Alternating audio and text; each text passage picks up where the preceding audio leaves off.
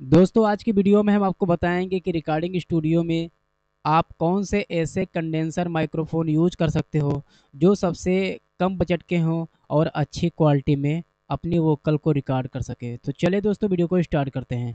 सबसे first number पे हमारा माइक आ जाता है Samsung C zero three multi pattern condenser microphone जो मैं खुद यूज़ करता हूँ। अभी इसका मैंने एक अनबॉक्स वीडियो बना चुका हूँ, अपने यूट्यूब चैनल पर अपलोड कर चुका हूँ। अगर आप इस Samsung C zero three multi pattern condenser microphone का अगर आप अनबॉक्स वीडियो रिव्यू वीडियो देखना चाहते हैं तो लिंक डिस्क्रिप्शन में मिल जाएगा जा के आप देख सकते हो। और दोस्तों, जो मैं आज इस वीडियो में, जो माइक के बारे में बताने वाला हूँ, उन सभी चारों का लिंक डिस्क्रिप्शन में दे दूँगा। आप जा के आप उसको ऑनलाइन अमेजान पर परचेस कर सकते हो। तो फ़र्स्ट नंबर पे हमारा माइक आ जाता है Samsung C zero three multi pattern condenser microphone अब दोस्तों, ये काम क्या करता है, कैसे करता है तो यहाँ पे इसका नाम लिखा है multi pattern condenser microphone. Multi pattern condenser microphone इसलिए कहा गया है क्योंकि दोस्तों इसको आप सामने से भी रिकॉर्ड कर सकते हो, यानी कि फ्रंट से रिकॉर्ड कर सकते हो, बैक से रिकॉर्ड कर सकते हो। आप चाहो तो चारों ओर से, यानी कि सराउंडिंग में भी अपने वोकल को रिकॉर्ड कर सकते हो। इसके नोब भी यहाँ पे दिए गई हैं, जैसे कि यहाँ पे आप देख सकते हो। और मैं यहाँ पे आपको दिखा दूँ, ये आप यहाँ पे देख सकते हो इसके नोब को। आप चाहो तो ज़ीरो डीबी पे भी अपने वोकल को रिकॉर्ड कर सकते हो, माइनस टेन डी में भी अपने वोकल को रिकॉर्ड कर सकते हो। उसके बाद में यहाँ पे आप देख सकते हो ये चीज़। यहाँ पे आपको तीन, यहाँ पे आपको दिख रही दिख रही होंगी नोफ। यानी कि जो एट के जैसा बना हुआ है, यानी कि आप आमने से, यानी कि सामने से और पीछे से भी अपने वोकल को रिकॉर्ड कर सकते हो। और उसके बाद में सबसे ऊपर वाला है, आप सामने से रिकॉर्ड कर सकते हो। उसके बाद में एक यहाँ पे छोटा सा गोला आपको दिखाई दे रहा होगा। यानी कि ये गोला है, यानी कि चारों ओर से अपने वोकल को भी रिकॉर्ड कर सकते हो। दोस्तों, काफ़ी अच्छा सा ये माइक है। यानी कि इसका जो बजट की बात करें तो सात हज़ार नौ सौ रुपये का आपको ऑनलाइन मिल जाएगा।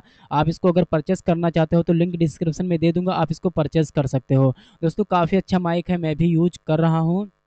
और एक माइक आ जाता है। यहाँ पे दूसरे नंबर की बात करें, अगर हम A K G P one twenty A K G P one twenty, ये भी दोस्तों काफ़ी अच्छा माइक है। इसका बजट की अगर बात करें तो छः हज़ार नौ सौ निन्यानवे रुपये का आपको मिल जाता है, जैसे कि यहाँ पे देख सकते हो। और ये भी दोस्तों मेरे एक फ्रेंड्स के पास था, और इसका भी दोस्तों एक अच्छी क्वालिटी में वोकल रिकॉर्ड होता है। यहाँ पे देख सकते हो। बाकी आपके रिकॉर्डिंग के ऊपर है कि कैसा आपका एकोस्टिक रूम है, कैसे सिंगर गाता है, कैसे आप अपने गाने का मिक्स करते हैं, कैसे आप मास्टरिंग करते हैं, कैसे आप वोकल की प्रोसेसिंग करते हैं, उस हिसाब से अपने वोकल को रिकॉर्ड करता है। बाकी माइक सभी अच्छे काम करते हैं, चाहे दो हज़ार का माइक हो या फिर बीस का माइक हो। हाँ ये चीज़ इतना है कि अगर आप ज़्यादा अच्छे बजट का अगर माइक लोगे तो उतने आपके वोकल की क्लैरिटी यहाँ पे मिल जाती है सुनने को, काफ़ी अच्छे से आपके वोकल को रिकॉर्ड करता है। तो दोस्तों, ये भी एक अच्छा सा माइक है, आप इसको यूज़ कर सकते हो। उसके बाद में आपका तीसरा माइक आ जाता है आइडियो टेक्निका का। दोस्तों, ये भी एक स्टूडियो के पास है, जो हमारा फ्रेंड्स है काफ़ी अच्छे से यूज़ कर रहा है, काफ़ी अच्छा इसका आइडियो क्वालिटी है।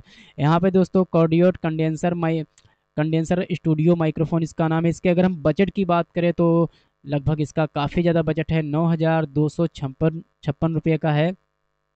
और दोस्तों, आप इसको अगर परचेस करना चाहते हो तो इसका भी लिंक आपको हम डिस्क्रिप्शन में दे देंगे, इसको आप परचेस कर सकते हो। उसके बाद में हमारा जो फोर जो हमारा कंडेंसर माइक्रोफोन है Behringer B one condenser microphone दोस्तों, ये आपको सबसे ज़्यादा बजट का मिल जाता है। लगभग ग्यारह हज़ार रुपये का। ये भी दोस्तों काफ़ी अच्छा माइक है। ये भी आप अपना ज़ीरो डी पे और माइनस टेन डी पे रिकॉर्ड कर सकते हो। दोस्तों, जो मैंने आपको चार माइक के बारे में बताया हूँ, आप इनको चाहो, अगर आप खुद के गाने रिकॉर्ड करते हो कवर सॉन्ग रिकॉर्ड करते हो तो इसको आप यूज़ कर सकते हो। या फिर अगर आप अपने मार्केट में अपने वो स्टूडियो को लाना चाहते हो तो ये अपने माइक को यूज़ कर सकते हो। बाकी अगर हम माइक की बात करें तो बहुत सारे ऐसे और भी इससे लो कैटेगरी में आ जाएँगे और इससे हाई कैटेगरी में मिल जाएँगे।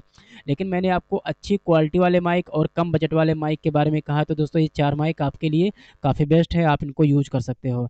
और दोस्तों, अगर आप इसका अनबॉक्स वीडियो देखना चाहते हो सैमसंग सी ज़ीरो थ्री का जो मैंने परचेस किया था तो लिंक डिस्क्रिप्शन में मिल जाएगा। आप इसका अनबॉक्सिंग और रिव्यू वीडियो देख सकते हो। अगर आप इन चारों माइक में से अगर कोई एक माइक लेना चाहते हो तो इन चारों का लिंक डिस्क्रिप्शन में दे दिया जाएगा। आप इनको परचेस कर सकते हो।